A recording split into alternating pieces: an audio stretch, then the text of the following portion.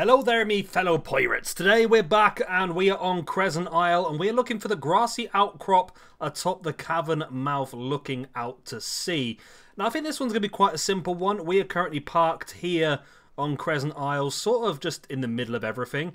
And this is the cave, so I'm imagining we just need to go up there where that tree is, more or less. So uh, let's um, hop off the back of this onto the beach and we'll head up. So that is the... Um, that's the cavern mouth just there. So if we want to go to the grassy outcrop, we want to be on top of it. Um, which I believe at the highest point is going to be... Is it going to be this here? Or this here, I think is probably the best bet.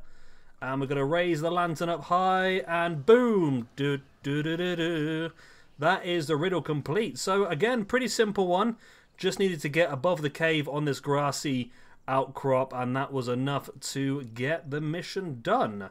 Hopefully that's been useful for you. If it has been, hit the like button, subscribe, and all the other good stuff, and I will see you again next time. If you struggle with anything else, check out the description down below.